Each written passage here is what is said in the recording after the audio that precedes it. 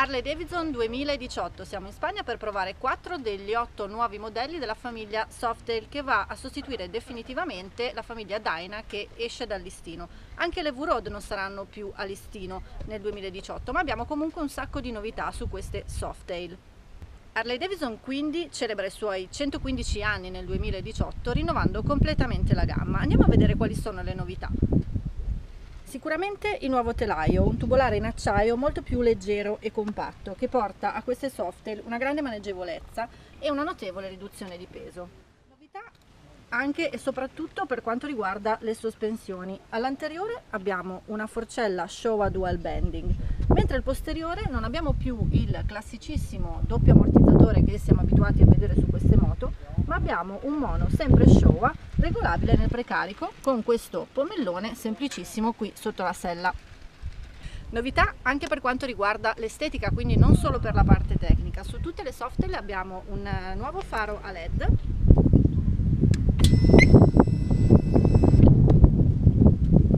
e una nuova strumentazione.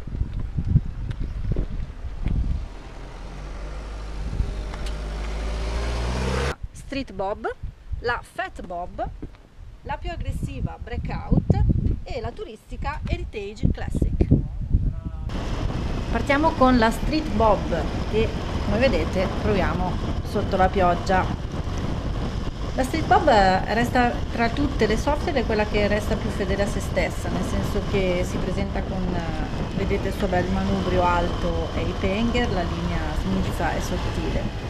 La posizione in sella è un pochino innaturale, per via del manubrio sì che è alto, ma anche per la posizione delle pedane, perché normalmente quando abbiamo il manubrio così alto e avanzato su questo tipo di moto ci aspettiamo di, trovarle, di trovare le pedane un po' più avanti, invece qui sono arretrate con l'Apenger, quindi è una posizione che forse a lungo andare rischia un pochino di stancare. Nonostante questo la Street Bob, essendo comunque la più piccolina e la più leggera tra tutte le nuove Softail, si guida benissimo.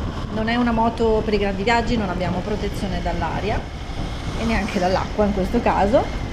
È una moto da tutti i giorni, una moto da raduno della domenica, è una moto che è perfetta per essere customizzata o comunque per avvicinarsi alle Harley senza troppo impegno, per avvicinarsi alle Softail Cambiamo totalmente stile e genere, siamo sulla Breakout 2018, la cattiva, quella che a me piace definire la cattiva, ora direi anche insieme alla Fat Bob, della gamma Softail. Abbiamo il manubrio drag bar largo, molto largo, lo vedete, le pedane avanzate e un'ergonomia che costringe il guidatore a guidare di forza, proprio di braccia, fare leva sul grande manubrio tra l'altro le leve della frizione e del freno non sono esattamente di burro e nei cambi di direzione si sente anche parecchio il peso di questa motona. La luce a terra è scarsissima, dopo quattro curve avrete limato completamente i piodini delle pedane. Se esagerate si arriva anche al cavalletto e al terminale di scarico.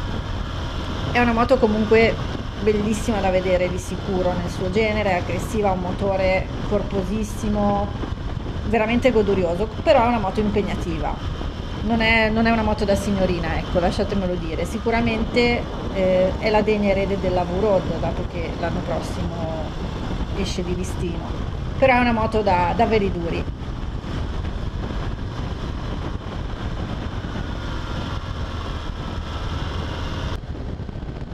Altro grande cambio di genere, stiamo provando quattro moto totalmente diverse tra loro nonostante appartengano tutte alla famiglia delle Softail.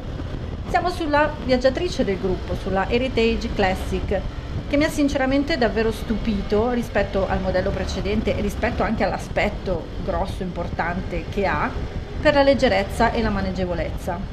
Il nuovo telaio la rende davvero agile tra le curve e comunque stabile alle alte velocità.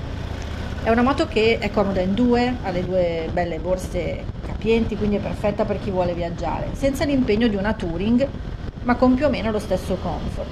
Tra l'altro il parabrezza è removibile in pochi secondi e senza bisogno di attrezzi, quindi quando si vuole prendere la moto per il giro della domenica, track si toglie in un secondo. Ha la frenata un po' lunga per via probabilmente del, del peso importante della moto stessa e del disco singolo all'anteriore che troviamo su quasi tutte le Harley Davidson.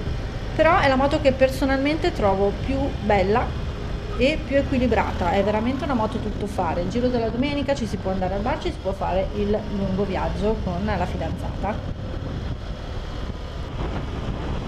Ultima ma non ultima, la novità forse più importante della gamma Soft 2018, una rinnovata, rinnovatissima Fat Bob, dall'aria decisamente più moderna, soprattutto grazie anche al faro a LED anteriore molto particolare.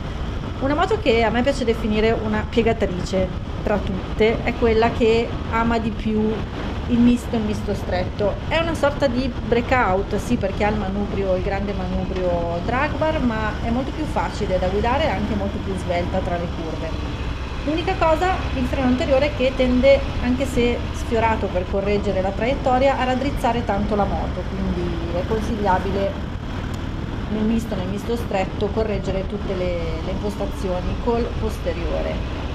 Molto meglio la luce a terra rispetto alla sorella breakout, ma anche qui se cominciate a prenderci gusto eh, dovete dire addio ai piolini delle pedane.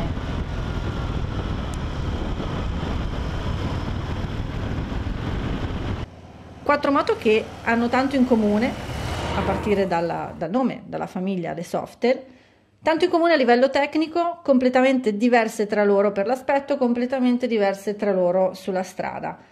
I nuovi motori Milwaukee Hate, sia il 107 che il 114, hanno una coppia spaventosa ad aeroplano, veramente, e molte, molte meno vibrazioni. Il telaio tubolare ha fatto scendere di parecchio la lancetta della bilancia per tutti i modelli, alcuni addirittura 15-16 kg in meno.